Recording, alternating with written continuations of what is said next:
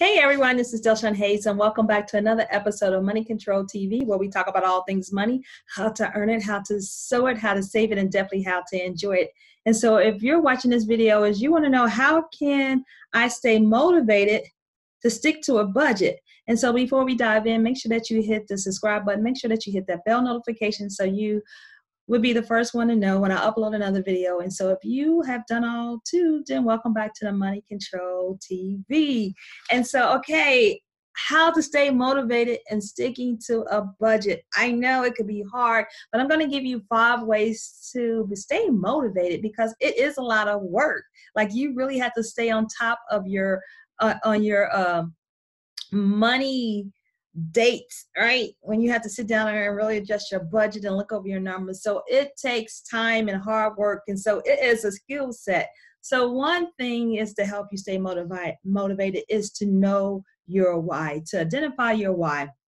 A lot of people say if your why should make you cry. And so understanding why that you need to budget. So you got to make sure that you know your why. And so I always say this that my why keeps me motivated, but my goals keep me focused. And so my why is right right here behind me if you can see is my 28 year old millennial son. And so my why is that I want to pay off debt so that you know when i'm up in age that he doesn't have to worry about paying his mom's mortgage or paying her debt. And so that is my why. And so i'm giving myself freedom and also not putting a burden burden on my son. So you got to identify your why because your why keeps you motivated but your goals keep you focused. And so when i want to like oh man i don't want to i don't want to look at the numbers. I don't i don't want to see what i got to take out of my budget what i got to do all that stuff. I know it can be hard work but when i look back and I think about my son, it keeps me motivated, right, to do, to stick to budgeting because I know in the results in budgeting that, hey, I can eliminate debt,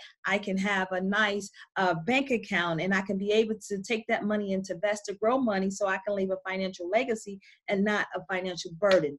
The second motivation tip is to get you a hype song, right? A hype money song, like really I just, I just discovered microphone Jones talk about budget, budget, budget, and so I'm going to put uh, the uh, link to his video above, above, right above, and so that you would know, like, oh man, he's a hype. It's a hype sound, like a budget, budget, budget. So get your hype sound, a hype song, and so when you feel like, oh man, I don't want to do it, play that play that money song and so you be like yeah yeah yeah keep you motivated right? Everybody loves a hype song right? That's what keep you motivated as well when you feel like oh man i want to do this play that song and go ahead and work that budget.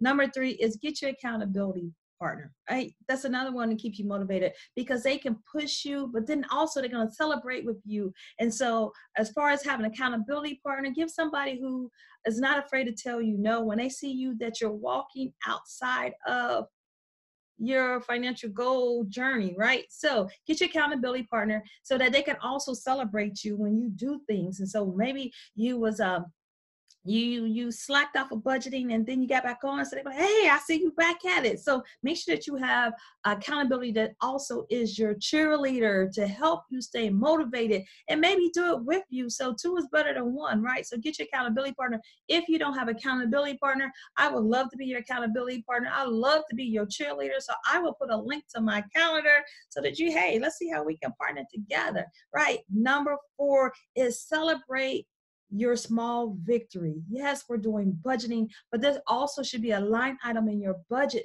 to celebrate the small wins. And so maybe you're killing your budget and you hit your first uh, K right? Your first K, 1000 emergency fund, and now you're working on your second K. And so maybe put a small line item to treat yourself out for dinner. So that would keep you motivated because sometimes people like, oh man, I don't want to budget. It's because I can't live. I can't do anything. But if you have a, a line item in your budget just to celebrate those small wins, I'm telling you, it will keep you motivated. Like, yes, Yes, I do a small win in budgeting. I got $20. I'm going to Goodwill, right?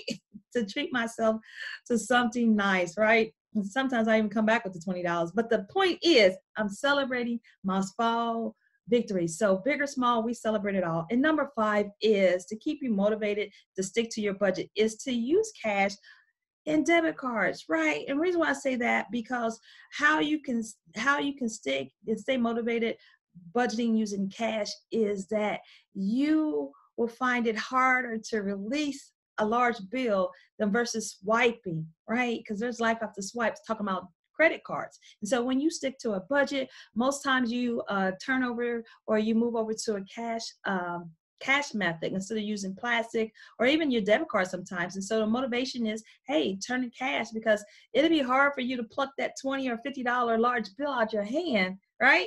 And so that motivate motivates you to also to stick to budget because then you have a visual where your money is actually going. So you guys, I hope those five tips on how to stay motivated to stick to a budget is helpful. Make sure you like, comment down below. Make sure you come back and tell me down below what is your hype song, your money hype song that you're going to listen to to keep you motivated to budgeting. Make sure you hit that subscribe button, and I will talk to you guys on the next video.